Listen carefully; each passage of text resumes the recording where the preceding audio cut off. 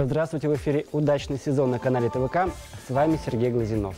Последние годы возрастает популярность декоративных водоемов. Одни создают довольно большие пруды, в которых выращивают кроме растений также и рыбу. Другие же создают небольшие миниатюрные прудики, э, тоже пытаются как-то их украсить. Ну, для больших водоемов подойдут, конечно же, нимфи и кувшинки. О том, как их выращивать, мы уже рассказывали в наших предыдущих передачах. Сегодня расскажу о том, как украшать маленькие миниатюрные декоративные водоемы. Пожалуй, самым популярным плавающим водным растением является водный гиацинт, а по-научному эйхорния. Родом он из Южной Америки, растет в реке Амазонка.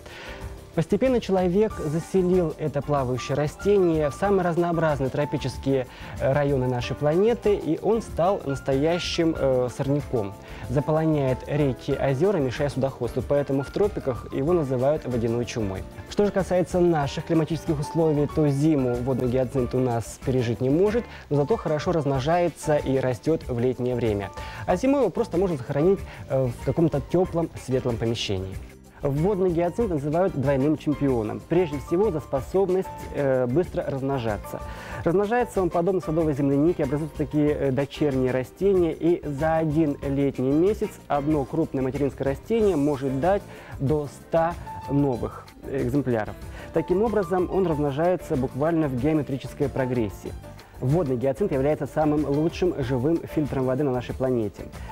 Поэтому во многих областях России его уже используют для очистки воды в водохранилищах в летнее время от самых разнообразных вредных химических веществ и в частности от бензина.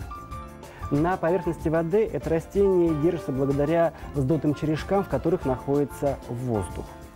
Ухода за этим растением практически никакого в течение лета не требуется. Лишь иногда нужно удалять такие старые почерневшие черешки листьев, которые очень легко отламываются от э, материнского растения.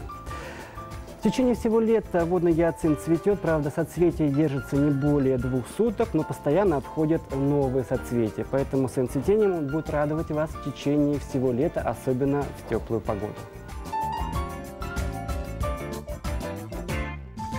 На сегодня это все. Спасибо за внимание, до свидания и до новых встреч.